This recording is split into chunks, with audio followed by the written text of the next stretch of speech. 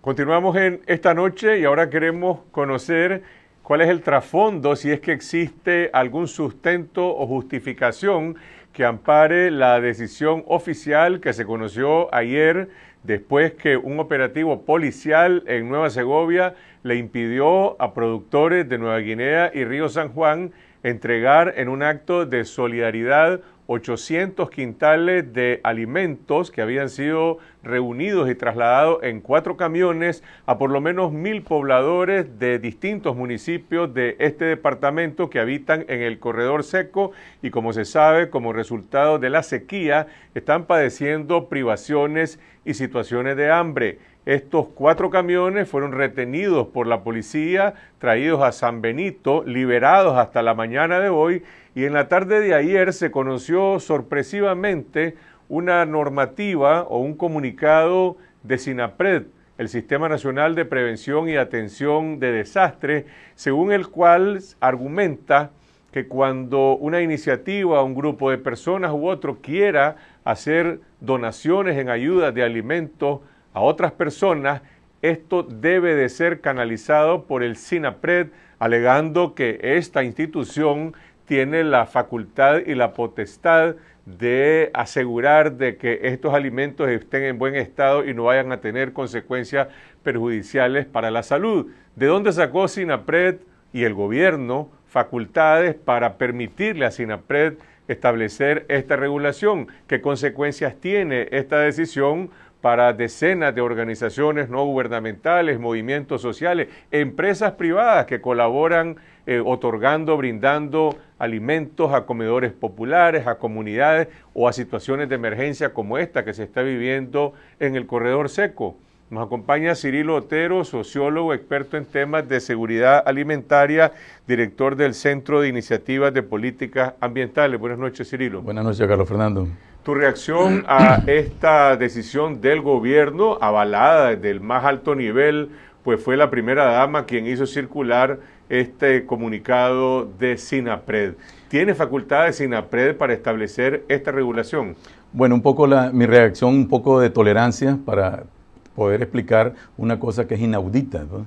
Yo creo que eh, no tiene, para contestar tu pregunta concretamente, SINAPRED no tiene en su, hoy revisé su escrito de constitución, no tiene ni facultades ni capacidades para para poder revisar la inocuidad de los alimentos y decidir si pueden ser consumidos o no por una población determinada en emergencia.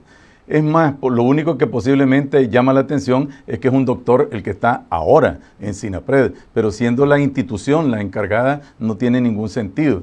El otro aspecto que me parece que es importante observar y enfocar, Carlos, es que eh, Nicaragua ha vivido desde hace mucho tiempo como dependiente de la cooperación internacional y de la ayuda externa. Hay que recordar que, por ejemplo, nosotros hoy día vivimos de, del ahorro externo. Por ejemplo, son 1.300 millones de dólares los que llegan en términos de remesas familiares. Este es un país receptor de ayuda externa. Y de el desarrollo de esa solidaridad, de ese comportamiento de otros grupos a, a nivel interno es sumamente importante para cambiar las formas de relaciones sociales en este país. Ahora dijiste, Sinapred, situaciones de emergencia. El gobierno no ha oficializado, no ha admitido que existe una situación eh, de emergencia en la zona seca como resultado de la sequía. No solamente no ha declarado, se lo hemos sugerido, se lo hemos planteado y se lo hemos demandado diferentes organizaciones de este, de este país y, y regionales centroamericanas, porque es necesario declarar lo menos un estado de calamidad en esos 63 municipios del corredor seco, porque hay una cantidad enorme de personas y de familias, de personas adultas desde la tercera edad, niños, niñas y adolescentes que están padeciendo hambre, que están consumiendo un guineo, café, agua en el peor de los casos. Ahora, ¿cómo quedan las redes de solidaridad que existen en este país? Puedo mencionar a Caritas, el brazo social de la Iglesia Católica, que se dedica precisamente a desarrollar proyectos y programas asistenciales.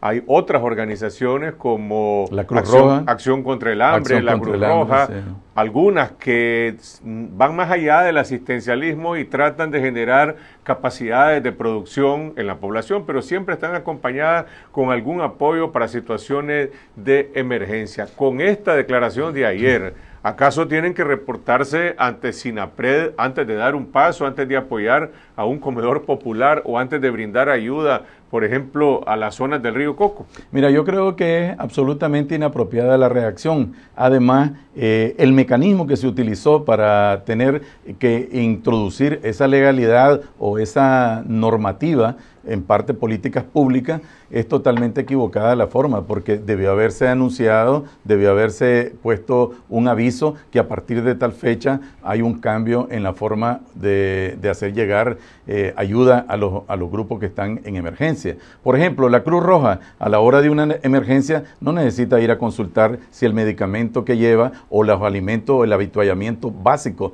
para la emergencia está en condiciones y que el SINAPRED lo apruebe o no. No hay capacidad tampoco con el SINAPRED. Hay una gran cantidad de tareas que tienen que ver con otras cosas, precisamente con la emergencia y con el salvamento de vida, y no precisamente con la inocuidad de los alimentos. Ahí yo creo que hay, hay un desajuste y una excesiva voluntad del centralismo que muestra la administración Ortega Leven en este momento. Ahora, el gobierno puede hacer esa declaratoria y de hecho ayer la impuso por la fuerza con un operativo policial. Al final liberaron los alimentos, los productores se vieron obligados a repartirlos casi los productos perecederos en la zona de San Benito, algunos los van a llevar a Nueva Guinea, pero mi pregunta es, ¿va a paralizar esto las iniciativas, las acciones de solidaridad que tiene la gente? Bueno, ahí hay dos cosas que yo quisiera enfocar. Uno es la actitud de la ciudadanía.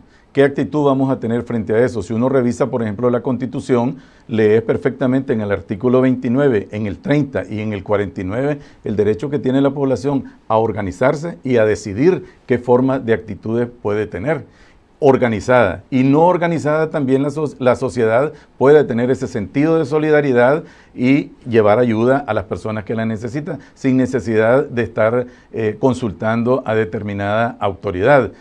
Ese es, una, ese es uno de los aspectos. Y el otro yo espero, digamos, como siempre uno tiene esperanza, espero que el gobierno reflexione y haya sido un improntus o una, o una locurita de momento, pues una exageración de algún funcionario y no necesariamente una voluntad política de empezar a centralizar excesivamente las actividades humanas, sociales y en este caso de emergencia. Ayer decía en este programa el director del Observatorio de Medios de Cinco, el doctor Guillermo Rochú, que en, su opinión esta era una acción que tenía dedicatoria, nombre y apellido, para reprimir, en este caso, la iniciativa de los miembros del Consejo de Defensa del Lago, la Soberanía y la Tierra, que están en contra de la concesión canalera y que, eran, y que son los que estaban promoviendo eh, esta acción. Pero aún en ese caso, vamos a ver, las autoridades que retuvieron esa ayuda estarían cometiendo un delito. Fíjate que a mí me parece que hay una, una suerte de actitud vengativa en las actitudes de las instituciones, de algunas instituciones del gobierno actual. Por ejemplo, la actitud que, que, ha tenido la policía en la mina del Limón me pareció posteriormente a los momentos más álgidos de la situación como una actitud vengativa porque la gente eh, los arrinconó contra la pared en un momento determinado. Y así pasa, o así veo que ha sucedido con esta expresión de solidaridad de parte de la gente que protesta en contra del derecho de tener la tierra y el derecho a que no haya una destrucción por la construcción del, canal interoceánico. Y hay una acción como vengativa que no muestra la actitud eh, estatal o la actitud gubernamental. El gobierno debe saber que tiene autoridad y esa autoridad no puede ponerse de tú a tú o de tú a igual con las condiciones de la gente. Debe tener un sentido aleccionador, pedagógico, constructivo para transformar el comportamiento social. Y de todas maneras resulta inverosímil que un gobierno que en sus lemas oficiales promueve la solidaridad, y la promoción incluso de los valores cristianos esté por decreto prácticamente prohibiendo que un grupo de ciudadanos pueda desarrollar esos valores de solidaridad. Sí, es contradictorio, totalmente contradictorio. Pues, te digo, yo, espero que esta haya sido una desfachatez de alguien, pues, y no necesariamente una política pública en práctica de, la administración. Ahora, si ese es el caso, debería, debería en todo, de todas formas eh, rectificarse y anularse esa declaración, así como el gobierno corrigió el proceso de concesión para una explotación minera en Rancho Grande, perfectamente podría anular un comunicado que, emitió ayer Sinapred. Sí, como lo que sucedió con, con el caso de Telcor también. Yo creo que sí, es necesario. El gobierno tiene que ir superando esa actitud de, de ser un gobierno mudo, y sordo en determinado momento frente a las condiciones de las relaciones sociedad política y sociedad civil. Es necesario que comunique, que transforme sus relaciones y que mejore el, entendimiento entre la sociedad y el gobierno.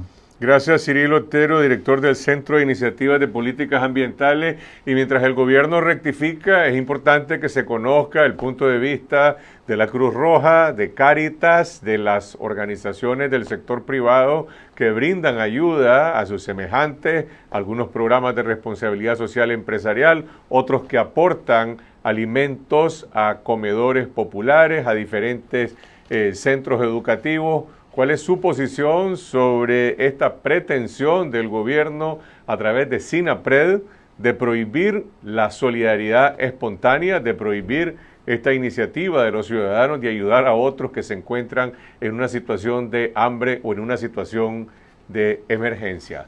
Gracias a ustedes por acogernos en sus hogares. Regresamos mañana con nuestro segmento especial Cuentas Claras aquí en esta noche. Vamos a hablar de inversión y temas económicos siempre a las 8 de la noche aquí en Canal 12. Hasta entonces.